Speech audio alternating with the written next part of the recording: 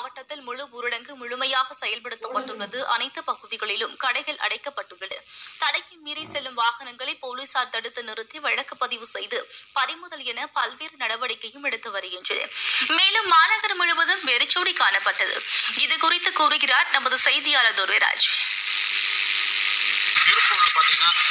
முழு ஊரடங்கு முழுமையாக செயல்படுவது செயல்படுகிறது என்றே சொல்ல வேண்டும். ஏனென்றால் இன்று முழுவதுமே இன்னைக்கு திருப்பூர் மாநகரம் முழுவதும் போலீசாரின் கட்டுப்பாட்டுக்குள் வந்துள்ளது.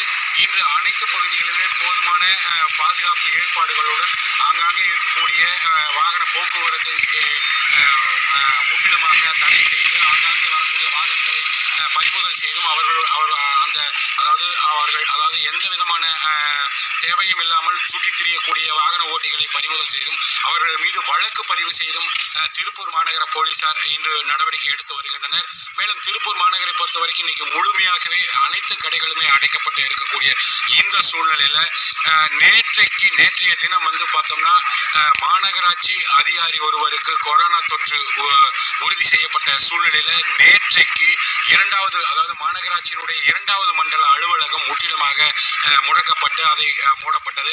மேலும் அவருடன் தொடர்பில் இருந்த அதிகாரிகள் அனைவருமே இன்று அவர்களுக்கும் பரிசோதனை மேற்கொள்ளப்பட்டுள்ளது.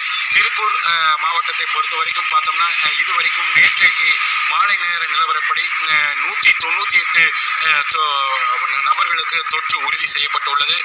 மேலும் பார்த்தோம்னா நேற்று ஆறு பேருக்கு கொரோனா தொற்று உறுதி செய்யப்பட்ட சூழ்நிலையில் இன்னைக்கு முழு ஊரடங்கு முழுமையாக நடைபெற்றுக் கொண்டிருக்கிறது. போலீசார் இங்கே பார்க்கக்கூடிய ஒரு சூழ்நிலையில போலீசார் போதிய நடவடிக்கைகளை எடுத்து சுற்றித் திரியும் வாகனங்களை தடுத்து நிறுத்தும் பணியில் தீவிரமாக ஈடுபட்டு வருகின்றனர். திருப்பூரில் இருந்து செய்திகளுக்காக துரைராஜ்.